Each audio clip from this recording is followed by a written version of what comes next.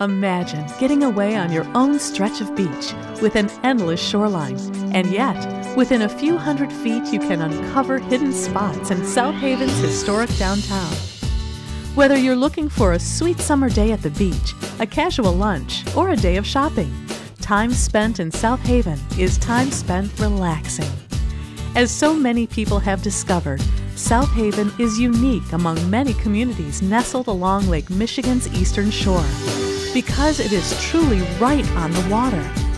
The sparkle of Lake Michigan and the warm sand beneath your feet serve as reminders that you are in a special place.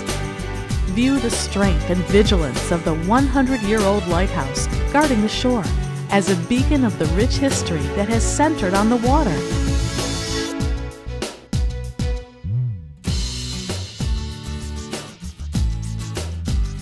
Speaking of history, perhaps you'd like to set sail on a rare topsail sloop named Friends of Goodwill, which is the flagship of the Michigan Maritime Museum.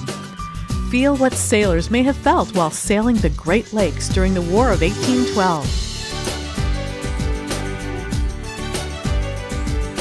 The village of South Haven has had a rich history centered around the water for over 200 years. Today, South Haven is a quaint harbor town just off the beaten path. Browse the shops brimming with a wide array of goods.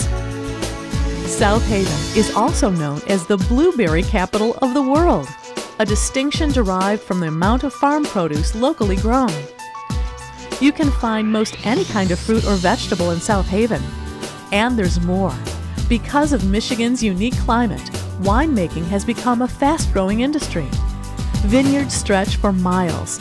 So if your taste favors the grape, allow your palate to savor the products of a local winery. By the way, whether you're planning an extended vacation or a weekend getaway, South Haven is abundant with accommodations. From bed and breakfasts, cottages, hotels, or resorts with stunning views, your stay will be relaxing Summer in South Haven is unmatched.